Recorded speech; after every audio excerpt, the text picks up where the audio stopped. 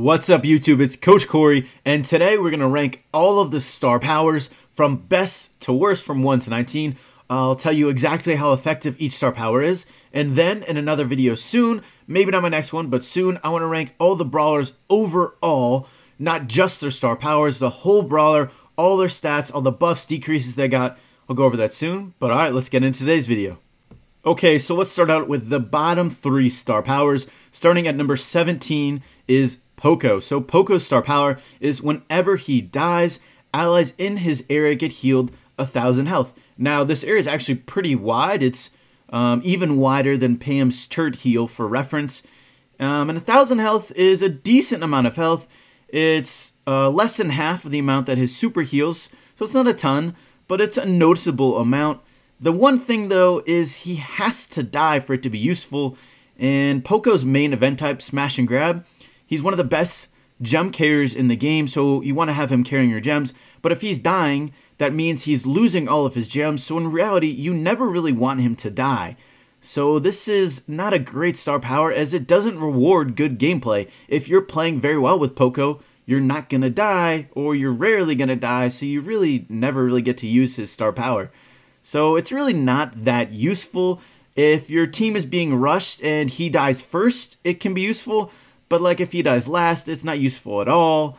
Um, I think the most useful situation for it, and this is even a maybe, is if Tara's super catches him and one or two of his teammates and he dies first. And then that allows them to help hopefully survive Tara's super. But, you know, he has to die first. If he dies second or last or whatever, it's not very useful. So this isn't that useful of a star power, and that's what's ring 17. Now going at 18 is El Primo. So El Primo's star power is whenever he jumps and lands on a super, anyone he hits gets hit with an extra fire damage for 400 damage over 5 seconds. Again, not a very useful star power. Basically, the best use for it is if you weren't going to kill that person, um, it gives some healing reduction, so it denies healing for, you know, 5 seconds, so they can't heal up for those 5 seconds but they're probably shooting you anyway since there's an El Primo in your face, so they probably weren't really going to be healing. And then as far as helping kill someone faster, well, if El Primo's going to kill them anyways, you know, that 400 damage over 5 seconds is less than one punch. And he was probably going to kill them within 5 seconds anyways, so it's really even less than that. So it really doesn't help that much as far as killing someone sooner. At best case, it makes him do one less punch. So again, not really that great of a star power. And now 19, in my opinion, the worst star power in the game is Darryl's. So Darryl's star power is when he is rolling in his super, he takes 70% less damage. Now this sounds not bad. I mean, you think of Bull's super, he easily takes damage when he's charging in, a similar super to Darryl's. But Darryl's, he rolls way faster. In my opinion, it's pretty hard to hit Daryl while he's rolling with his super. At the least, maybe you're going to get one shot in, um, it's honestly kind of hard to do on purpose sometimes. It's not going to happen that often though, so it's really, in my opinion, not a very useful star power. I have it as the worst star power in the game. Alright, and now that I went over the bottom three star powers in the game, let's go back up to the top. So, at the number one spot for best star power in the game, I have Mortis. So Mortis's star power is really good. So what his star power is, is whenever an enemy brawler dies, a soul appears on the map that only that Mortis can see, and whenever he goes over that soul, if he's not at full health, he will gain 1200 health. So this is a lot of health. And throughout the course of a game, Mortis will get a lot of healing, a really good amount. So this is a very strong star power. What this really does is it allows him to be a lot more aggressive. He can stay near enemies a lot longer as he will have more ability to heal throughout the match and he'll be dying less often. So this also helps him a lot, especially after 1v1. So if he can kill someone and then this allows him to survive and escape afterwards, a lot more now. So before, he might have been able to kill someone, but then he would die afterwards. Now he's much more likely to survive and come back and heal up. Now at number two is Spike. Spike's star power is whenever he's standing in his super, he gets healed up for 600 health per second. So this is a really good star power. Essentially, it allows Spike to be a lot more aggressive Uh, it kind of makes him a bit like a mini Shelly, as he can sort of spike it at the ground, be right next to someone, and just stand in it and survive for a really long time. And his attack at close range does a good amount of damage as well, so he can do a lot of damage and stay healthy. It's a really strong star power. Throughout the course of a game, he can heal up a lot, and it can also even be used as an emergency healing thing. Instead of even attacking anyone, it can be just healing. So if he's about to die, he can throw it at the ground and heal himself up. And, you know, if he's carrying any gems, this can be very useful. There are a lot of different situations you can use this in. It makes it really hard for any short range uh, or medium range characters to attack Spike if he has his super, because then he can just throw it at them, catch them in it, and then they're slowed, and he's healed up a ton, and they're taking damage, and he can throw his attack at them. So it's a very strong star power. In my opinion, it's the second best in the game. And now at number three, I have Colt. Colt's star power is he gets a passive ability throughout the whole game, he will move faster, aka he's going to run faster. So it's actually a little bit slower than Crow's move speed, but that makes him the second fastest brawler in the game. Now, this may not seem like a huge buff, but there are a ton of different situations where this is useful. Now he dodges a lot more, so he's going to get hit less. He can also chase people more. It's going to be harder to escape from his shots. He already has a decent range. He does a ton of damage, so this helps him do even more. He can now also escape easier if a melee or short range catches him. He can now get out of range sooner. He now reaches any objective sooner. He gets back in the fight sooner. Um, you know, there are a lot of different situations where his star power is useful. So, in my opinion, it's one of the better ones in the game.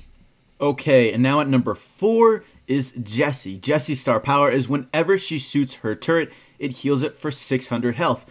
And now, as a side benefit, it also, whenever she shoots her turret, her shots bounce off her turret and go towards the nearest enemy. So, this is a great buff for Jessie. In my opinion, she really needed it. Now, it's actually pretty hard to kill her turret. You need some high damage. You need a sort of range brawler with a high amount of health, or maybe a thrower. You need, it's hard to kill her turret if she's healing it a lot. Her turret by itself was pretty strong, but it was somewhat easy to kill. Now it's going to be pretty hard to kill, so this is a great buff for Jessie, and it gives her turret a lot more versatility and ability to deal damage.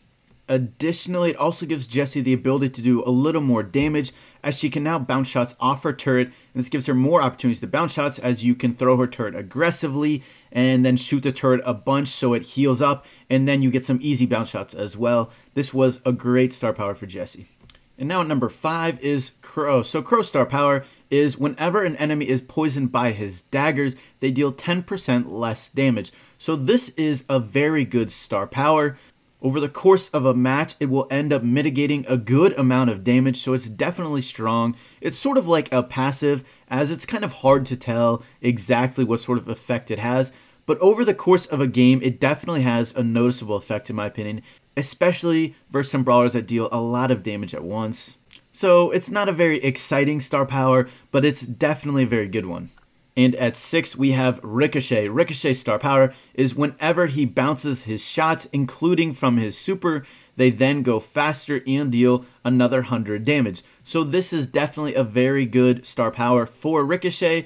Essentially, it makes it so on any of the maps where he had good bounce shots, he's now basically the best damage dealer option for those maps.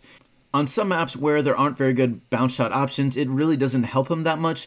But overall, I think this is a great star power for Ricochet, and it makes him one of the best damage dealers in the game, although I don't think it's overpowered. And now at 7, I have Tara. Tara's star power is whenever she uses her super, a Shadow Tara appears and chases the nearest enemy. Tara's Shadow has 1600 health, it moves very fast, and it also has a small hitbox. It doesn't deal a lot of damage, but it basically it's a very good distraction. So it allows Tara to focus on killing the enemy while they try and kill the, her shadow. If you do ignore her shadow, it can deal a decent amount of damage, but it's really best as a distraction. And while they're shooting her shadow, Tara and her teammates are shooting the enemies. It's definitely a pretty good star power. And at 8, I have Piper. Piper's star power is whenever she is in bushes, her shot does up to an additional 400 damage at max range. So this is a great star power for Piper, Um, especially on maps where she's bushes, she now becomes a really good option as a damage dealer. She's one of the best range killers in the game. She's very good at 1v1s and now she's even better. Essentially, it makes it a lot easier for her to two-shot people and even easier to one-shot mid-health people.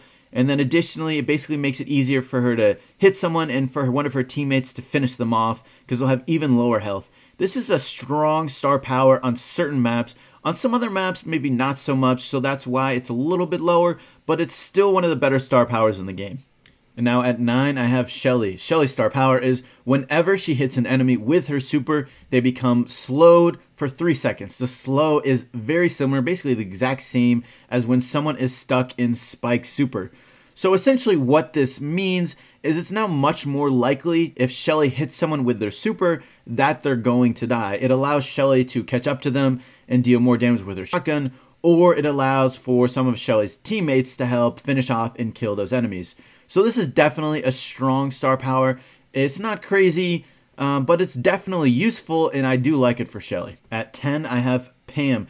Pam's star power is whenever she hits an enemy with her main attack, it heals herself and any allies in her radius for 30 health, and the radius is the same radius as her healing turret, so it's a pretty good radius, but it's not always going to catch all of your allies.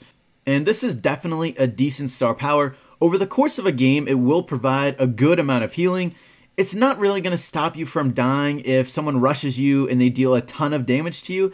It's not going to heal a lot very fast, but it heals a decent amount over the course of a game. So if you're like mid health and you want to be shooting people, it can definitely heal you and your teammates up. It's not going to do a ton of healing, but it's definitely a good bonus. At 11, I have Barley. So Barley's star power is whenever he throws any of his main attack bottles, he gets healed up for 100 health. So this is a pretty good star power. Over the course of a game, it will provide a good amount of healing. Now, basically what it does is just allows him to be a little bit more aggressive. So if he's like mid health, not if he's low health, it's probably risky at low health, but if he's at mid health, he can just keep throwing instead of stopping to heal up. So he essentially has to stop to heal less often so he can be a little more aggressive. Um, and it definitely helps a good amount throughout the course of a game. It's not going to really stop him from dying in the moment, but it can allow him to throw more shots. And it's definitely pretty good star power.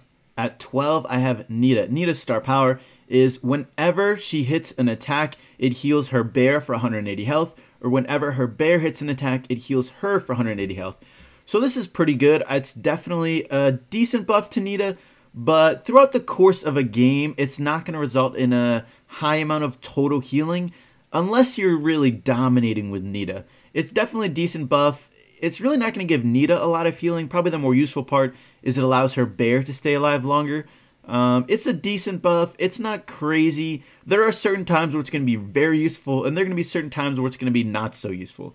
I do like it for Nita, but I don't think it's always very useful, so that's why I have it at 12. At 13, I have Bo. Bo's star power is he can now see additional tiles whenever he's in bushes, and his teammates also get to see that additional stuff that Bo sees as well. It's essentially like another five tiles in each direction, I think, or maybe it's four. But there aren't very many maps where this star power is that useful. The most obvious examples are Snake Prairie and Outlaw Camp. But even on those maps, the bushes tend to get destroyed a good amount, especially later in the game. So obviously it's not very useful then. So while I think this star power has the potential to be useful on some maps, there's not a lot of cases where it's very useful, and even then, it's not always useful even on those maps. Now at 14, I have Dynamike. So Dynamike star power is whenever he is standing on one of his sticks of Dynamite or his super, and when it explodes, he will jump in the air. Now, I think Dynamike's ranking could definitely change in the future. It's definitely to be determined. I think a lot of people aren't used to his star power yet, and there's definitely a high potential usefulness for it, but there's also some negatives as well. It makes it harder to deal with enemies in close range if they're attacking right at him and he's trying to, you know, hit them with his super, he now might accidentally jump in the air and then they can attack him right when he lands and he can't be attacking while he's in the air. So the usefulness is yet to be determined. There's definitely potential uses for it. He can jump over walls to escape or attack people. Definitely useful in Showdown. But as far as exactly how useful it is, I think is yet to be determined. I think there's more uses for it we haven't yet discovered. So we'll see. This ranking could change for Dynamike, but right now I have him at 14. And at 15, I have Brock. So Brock's star power is whenever his main attack rockets explode, they set the ground on fire, and if you're on the fire, it deals 160 damage, and that fire lasts for about 3 seconds. So this isn't that useful of a star power.